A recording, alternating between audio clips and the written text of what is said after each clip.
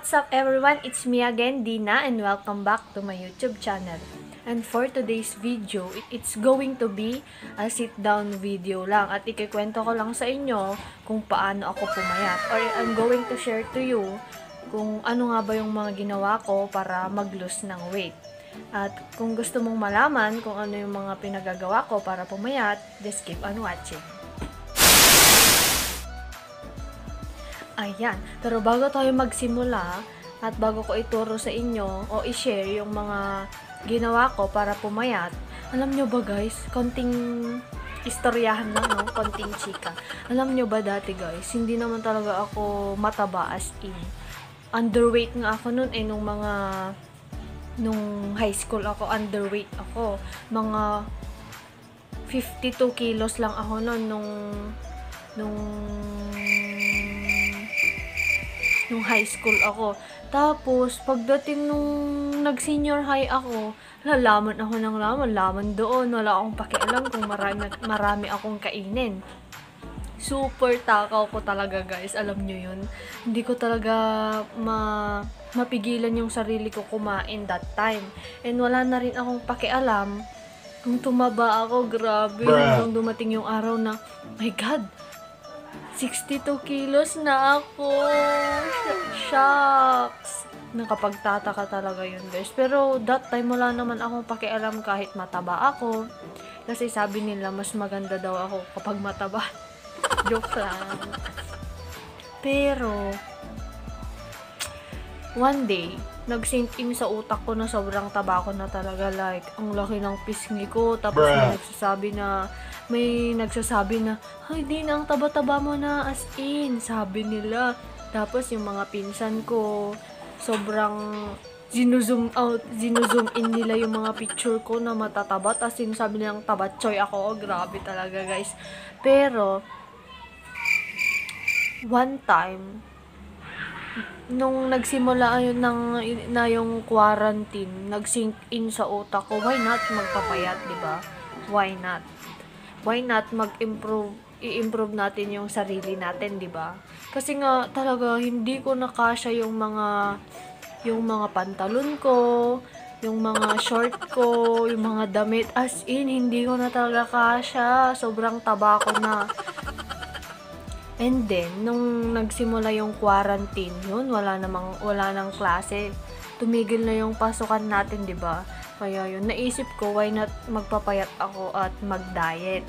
Para mabawasan naman yung timbang ko. And simulan na natin yung mga, kung paano nga ba talaga ako pumayat. First one, first one, dapat meron tayong discipline sa sarili. Meron tayong disiplina para magpapayat. Alam nyo yon yung yung yung magsisink in talaga sa utak natin na gagawin natin to para sa sarili natin. At to, take note guys, wag na wag kayong magpapapayat para lang sa ibang tao. Palagi nyo yung i... Palagi dapat nasa mindset nyo na, oh, magpapapayat ako kasi... Kasi... Kasi sabi nilang pangit-pangit ko na daw. No! Magpapayat ka para sa sarili mo, para mag, mag, mag-improve yung sarili mo. Alam mo yon yung, yes, nagpapayat ako para sa akin, para mag, mag, mag maging sexy ako like that. Hindi yung magpapapayat ka para kay ganito, para ganyan, para matanggap ka. No! Huwag niyo gagawin yun, guys. Hindi yun mag-work kung, mag, kung magpapapayat lang kayo para sa ibang tao. Tip number two, commitment. Kailangan talaga ng commitment sa pagpapapayat, guys. Kasi, remember, parang relasyon lang yung pagpapapayat, no? 'Di ba sa 'di ba nga sa pag-ibig, hindi da hindi lang dapat sinasabing I love you. Dapat ginagawa mo, 'di ba? Ganon sa pagpapapayat, guys. Kailangan kapag sinabi mo magpapapayat ka, gawin mo as in may gawa talaga. Huwag mong sabihin na Am, ngayon hindi ako kakain ng rice. Tapos mamayang dinner, lunch, breakfast, ang dami mong kinaing rice. My God. Kailangan mo talagang i-commit yung sarili mo. Kagaya ng pag-commit mo sa jowa mo. Ganon. Ganon guys. Ganon gawin nyo dapat. isipin nyo muna sa sarili nyo na kaya nyo to. Um, makakapag-lose kayo ng weight. Sink in, isink in sa utak yun. At palagi nyong tatandaan na i-commit yung sarili nyo. Just for example, dapat ngayon mag-workout ka bukas din at sa susunod ng a- sa susunod na araw kasi i-commit mo yung sarili mo. Tanggalin mo lahat ng mga negative thoughts sa utak mo na hindi mo kayang mag-lose ng weight. Dapat confident ka sa sarili mo na na makakapag-lose ka ng weight. Tip number 3, tumitingin ako sa listahan kasi para masabi ko sa inyo ng maayos. Tip number 3, drink ginger tea or lemon water. Ang ginawa ko kasi nun guys, nag-search ako kung ano yung mabisang pagpapapayat without exercise. And yun ang na-search ko yung uminom ka ng ginger tea or lemon water. Pero, umiinom lang ako nun ng pagkagising ko, umiinom ako ng ginger tea. Then, bago matulog, umiinom ulit ako ng ginger tea. Then, alam nyo ba guys na pagkagising ko, iinom ako ng ginger tea. Tapos, yun, pag, pag nainom ko yun, busog na ako. Then, konti na lang yung makakain ko for breakfast. Mm-mm. Konti na lang talaga yung makakain ko for breakfast kasi feeling ko busog na ako kapag nainom ko na yung ginger tea ko. Then, kapag, kapag tapos na akong kumain, di ba hindi na ako nagugutom. Meron naman akong lemon water lemon water naman yung iniinom ko. Nakakapag, ano kasi ng cravings yung lemon water eh. Basta hindi ako nagka-crave kapag umiinom ako ng lemon water. Yun lang, yung palagi before breakfast, uminom kayo ng ginger tea. And then before sleep, uminom ulit kayo ng ginger tea. Yun ang ginagawa ko. Super effective nun guys. Trust me. Alam nyo ba na everyday ako nagpupupu kapag umiinom ako ng ginger tea? Eh, hindi normal sa akin yung everyday na tumatae. Eh, hindi ako everyday na tumatae. And then, tip number 4, no rice. No rice, as in. Pero wag nyong ide-deprive yung sarili nyo. Kasi mahirap tanggalin ang rice, my God. Ang super hirap talaga. Super hirap tanggalin ng rice. Sa ating mga Pilipino kasi, three times a day tayo kumakain ng rice, di ba? Pero sa ibang bansa, hindi normal sa kanila na kumain ng rice, kaya ang sexy nila eh. Ang hirap tanggalin ng rice. Alam nyo ba na one week akong trinay ko kung trinay kong hindi kumain ng trinay ko hindi kumain ng ng rice in a day. Grabe, sobrang ingay ng ng chan ko. Grrr, gawi, every, every minute, grrr, gawi. Hindi ko kaya, kaya yun. Inaisipan ko na onti-ontihin yung pagtanggal ng rice sa sa mga meal. Just for example, nung first week ko, half rice lang yung ibinawas ko. Instead of one cup, half rice lang. Half, half cup of rice. And then, noon, nung nasanay na ako na hindi na ako kumakain ng rice, ay, mga isang buwan sigurong hindi ako nag-rice. And, ang substitute ko doon, mga gulay lang ulam, parang hindi ako kumain ng rice, puro ulam lang yung kinakain ko. Or kung hindi naman ulam, sa umaga nag-oatmeal lang ako. And then, na, sa tanghali, boiled egg.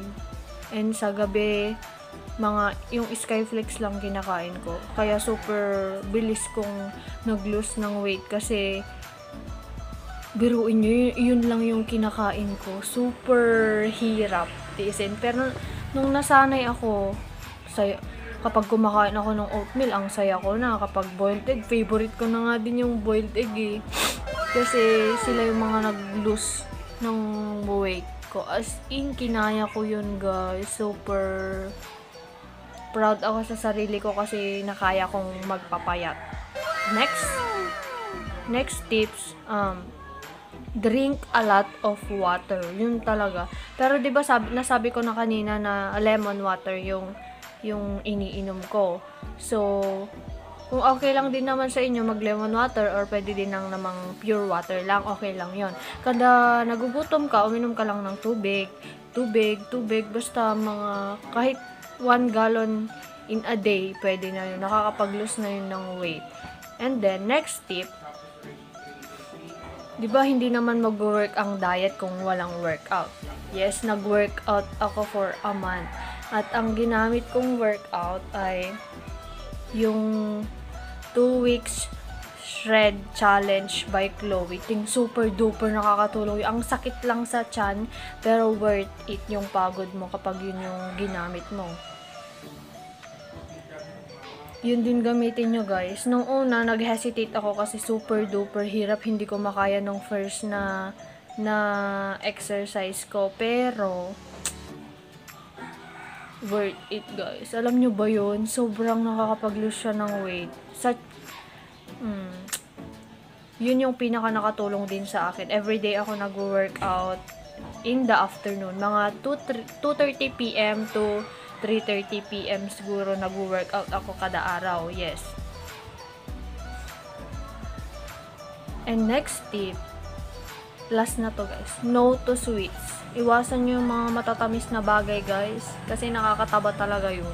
Yung milk tea, iwasan mo muna yung milk tea. Crave ka ng crave ng milk tea. Mmm, nakakataba talaga yun.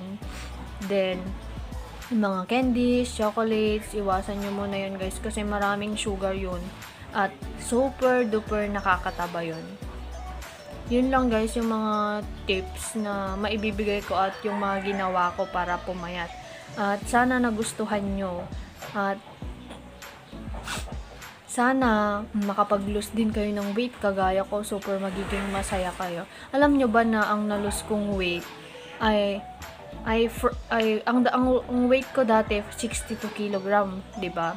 And then nung after a month naging 49 kilograms na lang ako. Super duper excited. Super duper saya ko talaga, guys. Hindi ko akalain na na na mapupunta ako sa 49 kilograms kasi nga wala kaming timbangan sa bahay at hindi ko talaga alam hindi ko talaga alam kung in, ilan na timbang ko kasi wala talagang timbangan as in.